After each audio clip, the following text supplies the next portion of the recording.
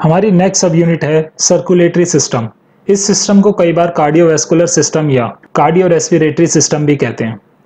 Circulatory system basically तीन organ का बना है और हम भी इस सब यूनिट में इन तीन ऑर्गन्स को ही स्टडी करेंगे। यह तीन ऑर्गन है हार्ट फिर ब्लड वेसल्स और लास्ट में ब्लड तो सबसे पहले हम हार्ट को स्टडी करते हैं। हार्ट एक पंपिंग ऑर्गन है, जिसका काम बॉडी में ब्लड को सर्कुलेट करना है। सबसे पहले हम हार्ट की स्ट्रक्चर के बारे में बात करते हैं।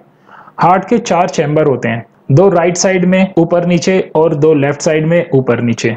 राइट साइड के ऊपर के चैम्बर को राइट एट्रियम कहते हैं और राइट नीचे वाले को राइट वेंट्रिकल फिर लेफ़्ट ऊपर वाले को लेफ़्ट एट्रियम और लेफ़्ट नीचे वाले को लेफ़्ट वेंट्रिकल हार्ट को जो लेयर राइट और लेफ़्ट में डिवाइड करती है, उसे सेप्टम कहते हैं।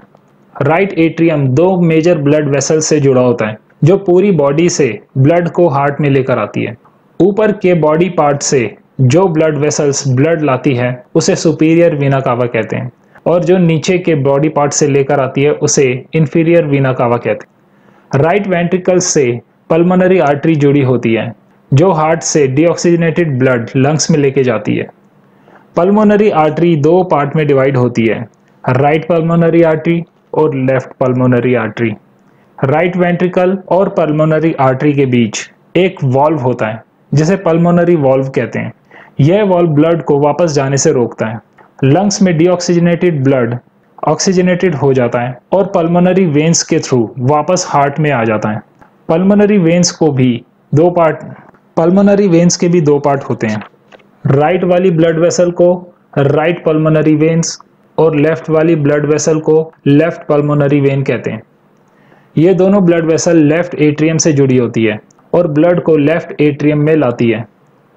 लेफ़्ट एट्रियम से ब्लड लेफ़्ट वेंट्रिकल में आ जाता है और यहाँ से एक मेजर आर्टरी जिसे ऑटा कहते हैं, के थ्रू पूरी बॉडी में पहुँचता है। लेफ़्ट वेंट्रिकल और ऑटा के बीच भी एक वॉल्व होता है, जिसे ऑटिक वॉल्व कहते हैं। इसके अलावा हार्ट में दो और वॉल्व होते हैं। एक राइट एट्रियम और राइट वेंट्रिकल के बीच, जिसे ट्राइकस्पिड वॉल्व भी कहते हैं। और दूसरा लेफ़्ट एट्रियम और लेफ़्ट वेंट्रिकल के बीच, जैसे बाइकस्पिड या मिट्रल वॉल्व भी कहते हैं। हार्ट के बिल्कुल नीचे के पॉइंटेड पार्ट को एपेक्स कहते हैं। हार्ट के मसल्स में तीन लेयर्स होती है। सबसे बाहर वाली लेयर को पेरिकार्डियम कहते हैं।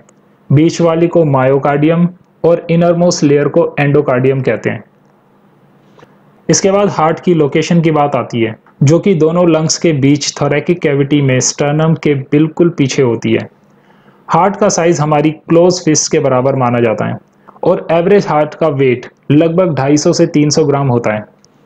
हमारी बॉडी में दो तरह की ब्लड वेसल्स होती है, एक आर्टरी और दूसरी वेंस आर्टरी वह होती है जो ब्लड को हार्ट से लेकर जाती है, जबकि वेंस ब्लड को हार्ट में लेकर आती है। आर्टरी के आगे बढ़ने पर उसकी छोटी ब्रांचेस बनती है, जिसे एट्रियोल्स कहते हैं। सिमिलरली वेन से भी उसकी छोटी ब्रांचेस बनती है। जिसे वीनियोल्स कहते हैं। आर्ट्रियोल्स और वीनियोल आगे और छोटी स्ट्रक्चर में कन्वर्ट हो जाती हैं, जिन्हें कैपिलरीज कहते हैं। कैपिलरीज वह जगह होती है जो सेल से CO2 लेकर सेल को ब्लड का ऑक्सीजन दे देती है। कैपिलरी स्ट्रक्चर में इतनी छोटी होती है, जिसे हम आँखों से नहीं देख सकते। एक ब्लड वेसल्स की तीन लेयर होती है। सबसे अंदर वाली लेयर को टूनिका इंटरना कहते हैं। बीच वाली को टूनिका मीडिया और सबसे बाहर वाली लेयर को टूनिका एक्सटर्ना कहते हैं। सर्कुलेटरी सिस्टम में दो तरह के सर्कुलेशन चलते हैं। सिस्टमैटिक सर्कुलेशन और पल्मोनरी सर्कुलेशन एग्ज़ाम में अक्सर इन पर भी क्वेश्चन आ जाते हैं। हम जानते हैं कि ब्लड हार्ट में आने के बाद लंग्स में प्योरीफाई होने के लिए जाता है और वहाँ से वापस हार्ट में आता है। Heart to lungs to heart का यह सर्कुलेशन पल्मोनरी सर्कुलेशन कहलाता है। लंग से ब्लड हार्ट में आने के बाद पूरी बॉडी में ऑक्सीजन सप्लाई करने जाता है और फिर वहाँ से वापस हार्ट में आता है। तो यह heart to body to heart के बीच के सर्कुलेशन को सिस्टमैटिक सर्कुलेशन कहते हैं। सर्कुलेटरी सिस्टम का थर्ड पार्ट है ब्लड ब्लड एक तरह का कनेक्टिव टिश्यू है, जो कि हमारी बॉडी में लिक्विड की फॉर्म में पाया जाता है। अगर हम ब्लड के कॉम्पोजिशन के बारे में बात करें तो बेसिकली ब्लड के दो पार्ट हैं। पहला है सेल्स और दूसरा है प्लाज्मा। हमारे ब्लड में तीन तरह के सेल्स पाए जाते हैं। पहला है आरबीसी, जिसे टेक्निकल लैंग्वेज में एरिथ्रोसाइट्स भी कहते हैं। दूसरा है डब्ल्यूबीसी, जिसे ल्यूकोसाइट्स भी कहते हैं। और लास्ट है प्लेटलेट्स, जिसे थ्रोम्बोसाइट्स भी कहते हैं। सारे ब्लड सेल्स मिलकर टोटल ब्लड वॉल्यूम का 45 परसेंट बनाते हैं, जबकि प्लाज्मा टोटल ब्लड वॉल्यूम का 55 परसेंट होता है। अब ब्लड की हम कुछ और भी जानकारी लेते हैं, जिन पर अक्सर एग्ज़ाम में क्वेश्चन आते हैं।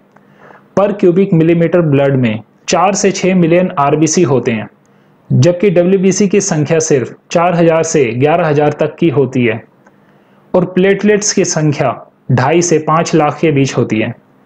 प्लाज्मा में कोई सेल नहीं होते। प्लाज्मा का 99 परसेंट वाटर होता है, और बाकी का एक परसेंट दूसरे एंजाइम्स होते हैं। फ़ंक्शन में आरबीसी का काम ऑक्सीजन और कार्बन डाइऑक्साइड का ट्रांसपोर्टेशन करना होता है। डब्ल्यूबीसी का काम बॉडी को बीमारियों और इन्फेक्शन के अगेंस्ट इम्यूनिटी देना होता है। मतलब डब्ल्यूबीसी हमारे इम्यून सिस्टम को स्ट्रॉन्ग करते हैं और प्लेटलेट्स हमारे ब्लड को क्लॉटिंग करने की एबिलिटी प्रोवाइड करते हैं। प्लाज्मा का काम ब्लड को लिक्विडिटी देना होता है।